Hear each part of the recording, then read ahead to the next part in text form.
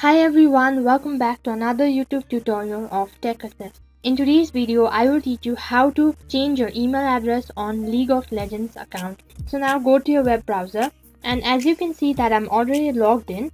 So as I'm inside profile page, go to your right hand side and on top there is my account, tap on it. Under my account there is settings, tap on it. So as you land inside account management, on the right hand side there is Riot ID and under it there is personal information. So on the right side of personal information there is your email address.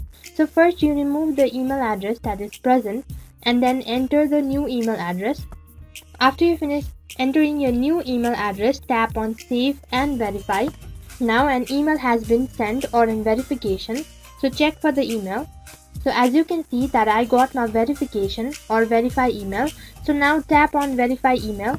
So now there is a dialog box that says you have successfully verified your email address. To make more changes, please visit account management. So now tap on manage account.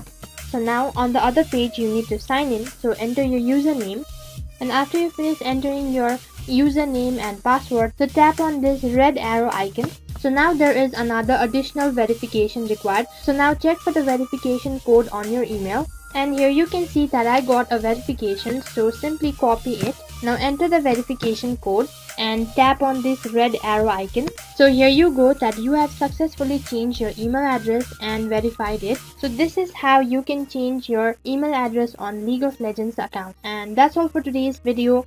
I hope the video was helpful. Don't forget to like, share, subscribe and also hit the bell icon so that you never miss an update. Thank you for watching.